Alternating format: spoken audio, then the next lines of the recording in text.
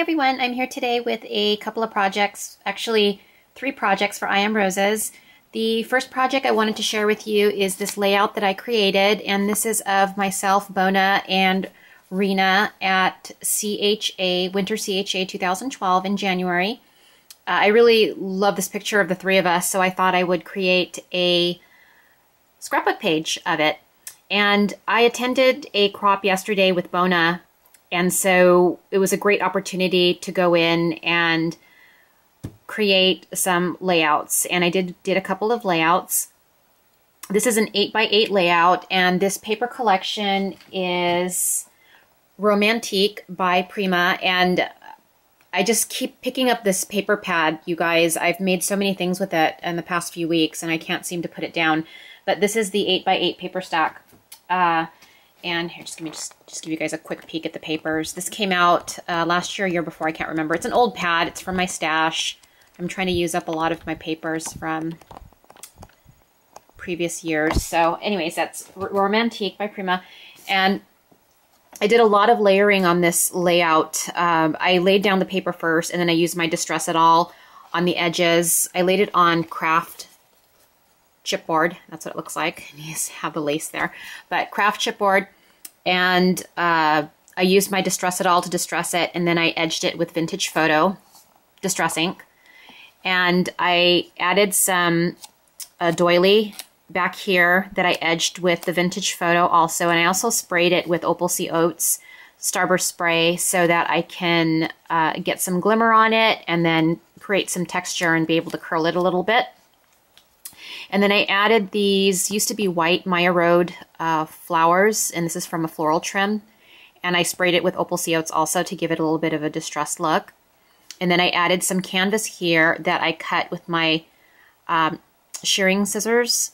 And I distressed it with Vintage Photo, and I sprayed it as well with some of the uh, Opal Sea Oats Starburst spray. Up here is a little Prima Shabby Chic Treasures Finding. And then you can see I did some layering with the paper collection. I have a layer here in a, a square cutout and I edged it with my Tim Holtz Distresser and Vintage Photo Distress ink. And then I cut this circle piece out with the design paper and edged it um, as well.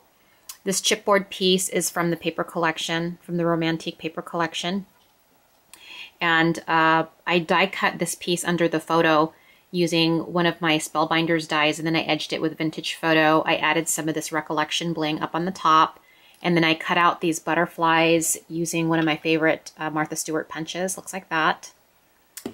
And, uh, and I added some pearls and then along crossed here I have the Crocheted Flowers by I Am Roses and these are the ones with the little pearls in the center. I love them. They're so pretty. And this is in the ivory color. I love those so much.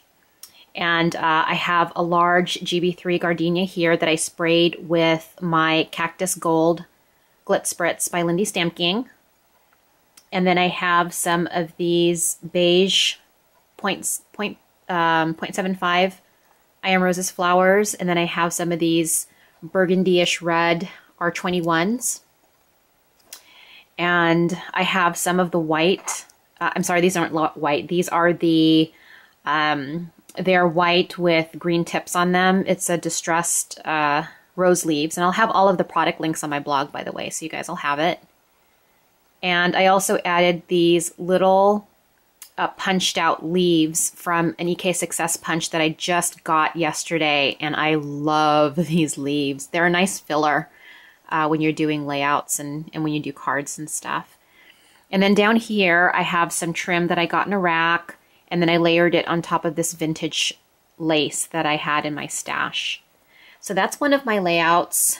Uh, had a lot of fun. Oh, I'm sorry, this is a little Prima tile over here from the Romantique collection also.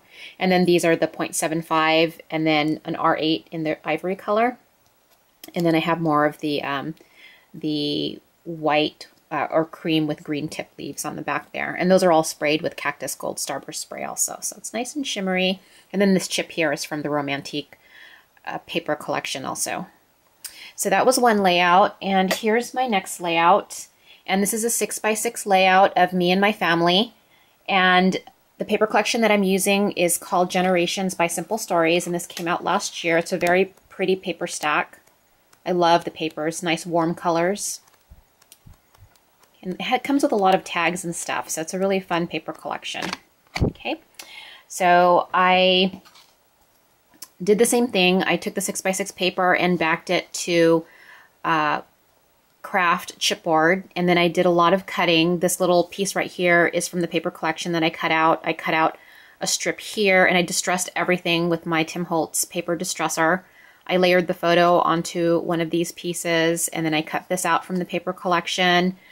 I added one of these butterflies and this was actually flat but I manipulated it and curled it and this is from Michaels. I've had a bunch of these in my stash. I bought them a few years ago and mentioned it on my video, and I think some people um, found that they're very fun to work with. But you can buy these butterflies, these metal butterflies, in the uh, garden section. They're intended to be pressed into cement uh, in a garden, and so, but they're really fun to use on scrapbooking also, really pretty.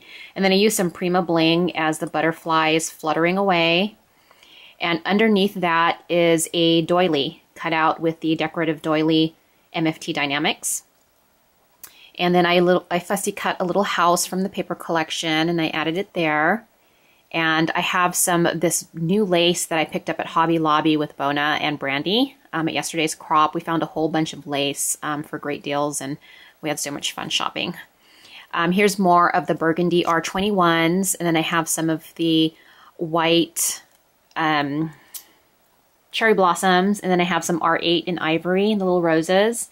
And then I have one of these little crystal brown flowers from Jan. Um, she had given to me in a rack. And then I added some of the rose leaves on the back. And then here's more of the punch out leaves from my new EK Success punch. And then here's a little butterfly from the Prima Bling that I used to make a little butterfly trail. So that is my 6x6 layout of my family, and that's myself, my two brothers, and my mom and dad. I did make some treat boxes for the crop uh, for Bona and Brandy.